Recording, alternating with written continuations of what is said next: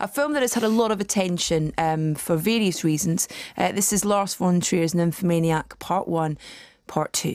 Yeah, so uh, Lars von Trier, obviously the, the Danish director, born into a family, according to the internet, of nudists who didn't believe in discipline which I think explains quite a lot. A lot. Okay. Um, the Nymphomaniac double bill is is described as the wild and poetic story of a woman's journey from birth to the age of 50, as told by the main character, the self-diagnosed nymphomaniac Joe. So this is Charlotte Gainsbourg and she's discovered um, one night by a guy called Seligman, Stellan Skarsgård, finds her beaten up on the street, takes her back to his flat, looks after her, and listens to her, listens to her story as she, as she recounts um, her history, really, her life, and, and the story of her relationships.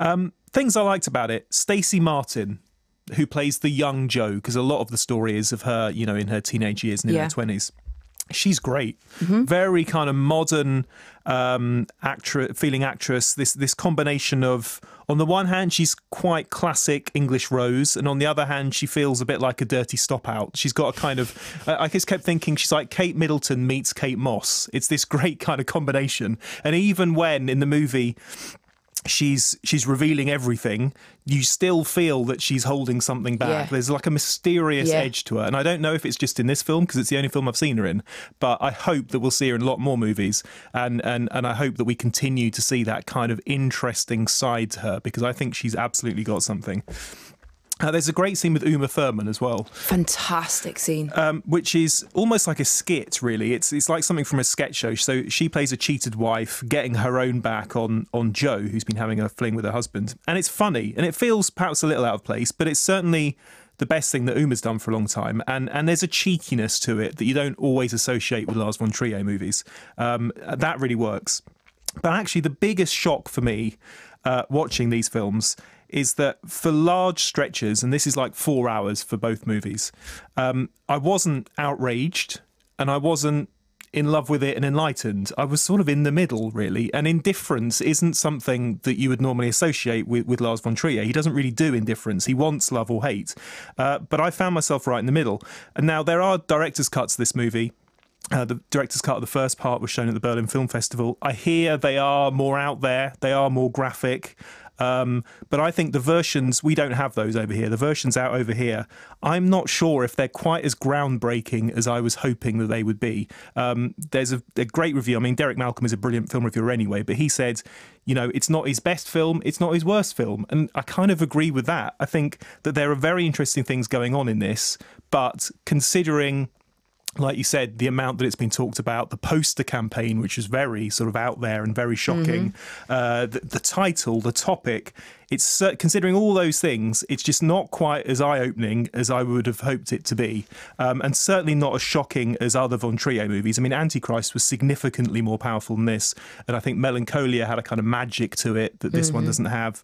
Um, and for a man who likes to wind up his audience and to provoke and challenge and to sort of jab, um, actually, I didn't find that many challenging things. It, in all honesty, and uh, this might sound a bit jokey, but it's absolutely true. The most challenging thing I had, I found, was Shia LaBeouf's accent. And I know it's a bit easy to take the mick out of a dodgy accent.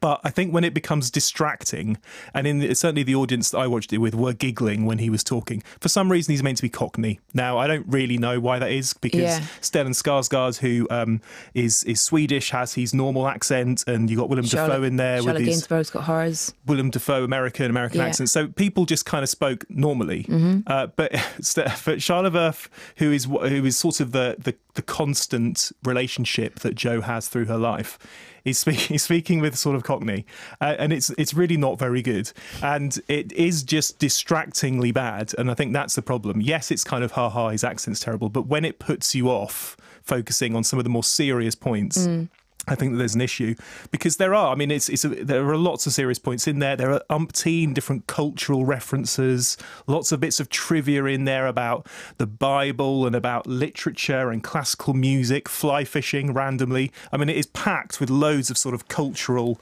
uh, name dropping um, and, and really serious points. You know, serious points about feminism and about society. But just when Shia's in there, you're thinking, look, fair enough, Lars. I know you're really trying to do something serious, but blooming hell, his accent is terrible, See, and that's off-putting. The thing that I, was, I found kind of quite pleasantly surprising about it was because there was so much uh, based around the fact, you know, it's called Nymphomaniac Part One and Two. It was Mm. going to be shocking. There was graphic sex scenes. You're going to see this. You're going to see that. It's going to it's going to disgust you. All this kind of stuff, and it didn't at all. No. I thought the, the the the moments and the kind of story as it's being told by Charlotte Gainsborough's character Joe to um, Stellan Star- Skarsgård, those moments are fantastic. The story unfolding, the way she tells it, and the simplicity and the references that he makes and the comparisons he makes with her life story to, you know, you talk about religion and all that kind of thing. I found absolutely fascinating.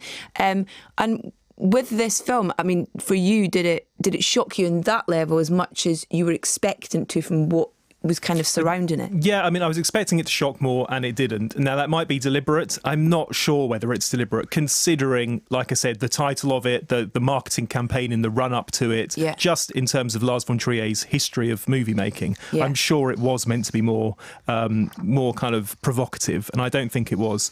Um, and I'm not entirely sure, to be honest, where when it sort of reaches its conclusion, you know, and it makes the big points, and it says, well, of course, would would we be treating a man in the same way if he was Yeah. a male, you know, sex addict? Would we treat him the same way? And you think, well, I know, no, we wouldn't. But that's not really a new point, is it? That has been an issue of debate for many years. So you're not really coming up with anything groundbreaking and new. And although I found it interesting and there are great bits, it didn't really have a massive impact. And that was the shock. That was the surprise.